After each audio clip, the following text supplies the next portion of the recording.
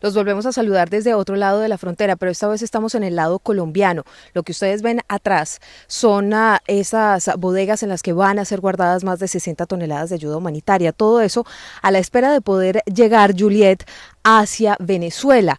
Les mostramos en un video anterior a todos los seguidores de las redes sociales de Blue Radio y BlueRadio.com cómo fueron puestas unas barricadas por parte de miembros de la Guardia Nacional de Venezuela. Silvia, hemos conocido que esta semana llegarían esas ayudas humanitarias a ese centro de acopio y lo que ustedes estaban viendo era la bodega en donde serán almacenadas esas ayudas que mayormente son medicamentos para atender a la población venezolana.